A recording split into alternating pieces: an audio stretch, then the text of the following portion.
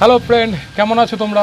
আশা করি তোমরা ভালোই আছো। আর তোমরা দেখছ আমার চ্যানেল দ্য বং চেম্বার আজকে আমি একটা সন্ধান পেয়েছি আড়াইশো বছরের পুরনো বট গাছের তো আমি সেখানে পৌঁছে যাব, সেখানে তোমাদের দেখিয়ে দেবো সেই ভিডিওটা।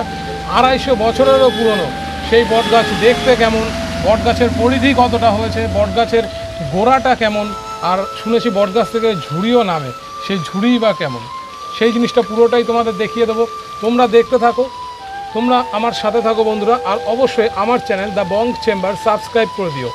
তো চলো সেখানেই যাওয়া যাক তোমাদের সেখানে নিয়ে যাই।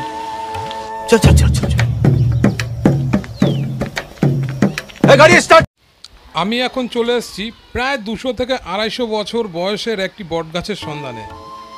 আমি চলে এসেছি সেই বটগাছের কাছে যেটার জন্য আমি বেরিয়েছিলাম আজকে দুশো থেকে আড়াইশো বছরের পুরনো এই বটগাছ। তো বটগাছের সাথে একটা কিন্তু শিব মন্দির আছে। তোমাদের সেটাও দেখিয়ে দিচ্ছি। সেই বটগাছটা তোমাদের একটু দেখিয়ে দেবো। এই হচ্ছে বটগাছ। দেখো, বটগাছটা মাটির সাথে ঠেকে গেছে। বটগাছের গুড়ি চারিদিকে ছড়ানো। আর তোমাদের দেখাই, এখানে কিন্তু আমি একা আসিনি। এসছে আমার কাকা মানে আমার দাদার ছেলে আর আমার বোন এসছে। দেখো, এরা কতটা মজা করছে এখানে। এই যে বটগাছের ডালটা, দেখো, মাটির সাথে লেগে গেছে। এত সুন্দর পরিবেশ তোমরা কোথায় পাবে? শহরে? একদমই পাবে না। আবার একটা বাড়িও এখানে বানানো হচ্ছে। এটা বাড়ি কি মন্দির কমিটি কিছুই বুঝতে পারছি না, কারণ যেহেতু নতুন আছে।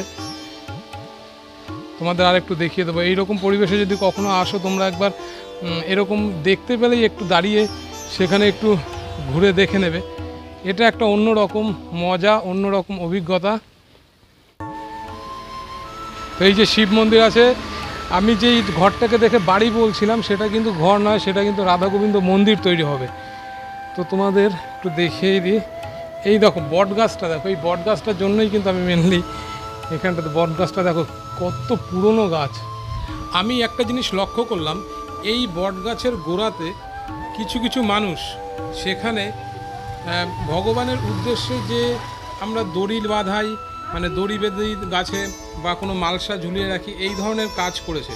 অর্থাৎ বটগাছটাকে কিন্তু পুজো করা হয় সম্ভবত। তো এই হচ্ছে সেই বটগাছ, যা কিনা আড়াইশো বছরের মতন পুরনো। এবার তোমাদের নিয়ে যাই, বটগাছের পাশে একটা খাল আছে, এই খালের দিকে। এখানকার মানুষ বলছিল, এই খালটা অনেক পুরনো। মানে যখন ঔরঙ্গজেব ছিল, তখন কিন্তু এই খাল থেকেই তখন তারা যাতায়াত করতো। তার মানে তাদের কথাতে বোঝা যাচ্ছে এই খালের আশেপাশে এখনও ঔরঙ্গজেবের বংশধররা কেউ না কেউ বেঁচে আছে। দেখো বট গাছটা শুধু দেখো, কত পুরনো আর কত মোটা। আর এর যে গুড়িগুলো বেরিয়েছে, মাটিতে ঠেকে আছে যে ঝুড়িগুলো, সেটাও কত পুরনো গাছ। আমাদের একটু দেখিয়ে দিই। এই যে বট গাছের ঝুড়ি, সরু সরু ঝুড়ি। আচ্ছা বট গাছের মেন গুড়ির কিন্তু ওটা মেন গুড়ি। আচ্ছা এখানে যেটা আছে, এটা একটু দেখিয়ে দিই। এটা কিন্তু বট গাছের ঝুড়ি।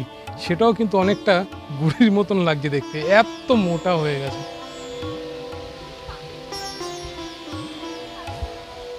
তো এই রকম পরিবেশ।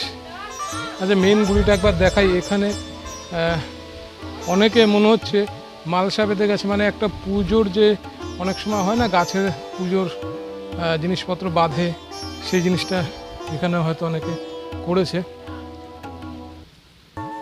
তো চলো, গাছের গুড়ির তল থেকে বেরোতে হচ্ছে। গুড়িটা একবার দেখো, এটা একটা গাছের ডাল।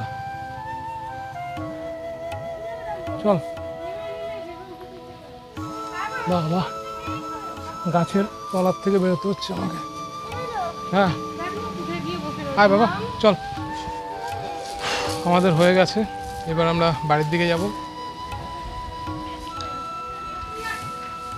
তো চলো।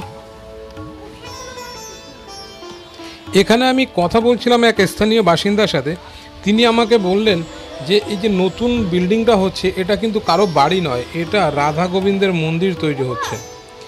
সামনে বটগাছের গোড়াতে যে শিবলিঙ্গটা ছিল মানে শিব মন্দিরটা ছিল, ওটা থাকবে এবং এখানে একটা রাধা গোবিন্দর মন্দির তৈরি হবে। এখানে পরবর্তীতে একটা ভালো পবিত্র স্থান তৈরি হবে, যেখানে সবাই পুজো দিতে আসবে। এবং নাম সংকীর্তন এই টাইপের জিনিস এখানে কিন্তু হবে। প্রীতম এখানে বেশ মজাই করছে, কারণ এত বড় বট গাছও কিন্তু এখনও দেখেনি। এই প্রথম দেখল।